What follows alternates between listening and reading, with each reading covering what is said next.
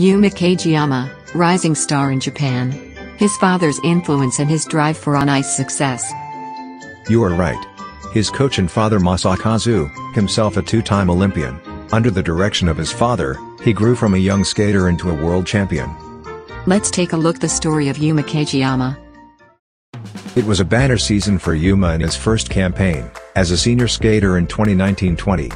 Youth Olympic champion, Japan Junior champion, silver medalist at the World Junior Championships, bronze medalist at the Japan Championships and four continents, and fourth place at the Junior Grand Prix final.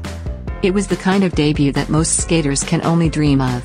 For sure, it was the product of years of hard work by Yuma and his father. Misao Sato, who assists the elder Kagiyama with the training of his son, and also does the choreography said, most of the communication between Masakazu Kagiyama and Yuma takes place at home, Mr. Kagiyama is a very serious man. He doesn't favor Yuma over his other students. Probably rather the opposite. He can do that because he believes in his son. Yuma basically practices on his own. During public sessions, he goes through all his elements and moves by himself.